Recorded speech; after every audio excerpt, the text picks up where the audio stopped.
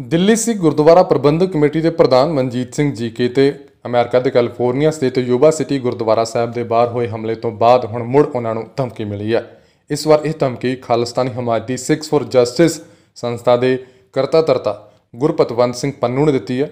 Twitter ਉੱਤੇ tweet ਕਰਾਹੀਂ Pannu ਨੇ ਇੱਕ ਬਿਆਨ ਦਿੰਦਿਆਂ ਕਿਹਾ ਕਿ ਦਿੱਲੀ ਸਿੱਖ ਗੁਰਦੁਆਰਾ ਪ੍ਰਬੰਧਕ ਕਮੇਟੀ ਨੂੰ ਰੈਫਰੈਂਡਮ 2020 ਦੀ ਹਮਾਇਤ ਕਰਨ ਦੇ ਲਈ ਕਿਹਾ ਗਿਆ ਹੈ ਅਤੇ ਜੇਕਰ ਅਜਿਹਾ ਨਹੀਂ ਕੀਤਾ ਗਿਆ ਤਾਂ ਪੰਨੂ ਨੇ ਧਮਕੀ ਦਿੰਦਿਆਂ ਕਿਹਾ ਹੈ ਕਿ ਮਨਜੀਤ ਸਿੰਘ ਜੀਕੇ ਨੂੰ ਵਿਦੇਸ਼ਾਂ ਦੇ ਵਿੱਚ ਦਾਖਲ ਨਹੀਂ ਹੋਣ ਦਿੱਤਾ ਜਾਵੇਗਾ।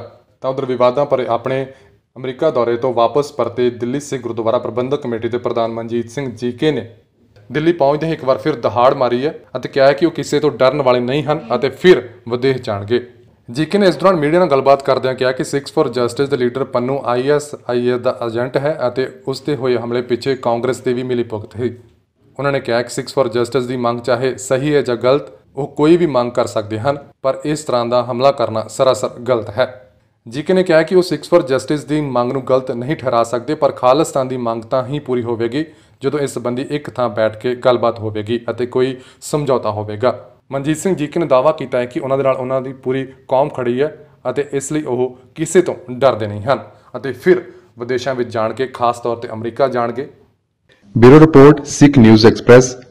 ਜੇਕਰ ਤੁਹਾਨੂੰ ਸਾਡਾ ਇਹ ਉਪਰਾਲਾ ਚੰਗਾ ਲੱਗਾ ਹੈ, ਤਾਂ ਇਸ ਨੂੰ ਲਾਈਕ ਕਰੋ ਸ਼ੇਅਰ ਕਰੋ ਅਤੇ ਸਾਡੇ YouTube ਚੈਨਲ ਨੂੰ ਸਬਸਕ੍ਰਾਈਬ ਕਰੋ।